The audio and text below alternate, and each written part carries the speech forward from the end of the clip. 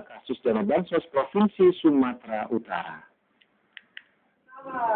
Aksi demonstrasi yang digelar oleh Aliansi Masyarakat untuk Keadilan Permuk datang dengan membawa spanduk, poster serta badut dengan wajah Surya Paloh dan HM Prasetyo. Badut merupakan simbol sosok Surya Paloh dan HM Prasetyo yang telah merenggut uang rakyat. Masa demonstrasi menyampaikan tuntutan antara lain meminta KPK memeriksa dan menetapkan Surya Paloh dan HM Prasetyo sebagai tersangka. Mereka telah mengharapkan yang di Kejaksaan Agung bisa bisa saudara-saudara sebelum kita Ratusan televisi rakitan karya seorang lulusan sekolah dasar dimusnahkan aparat kejaksaan karena dianggap tak berstandar nasional. Kami segera kembali.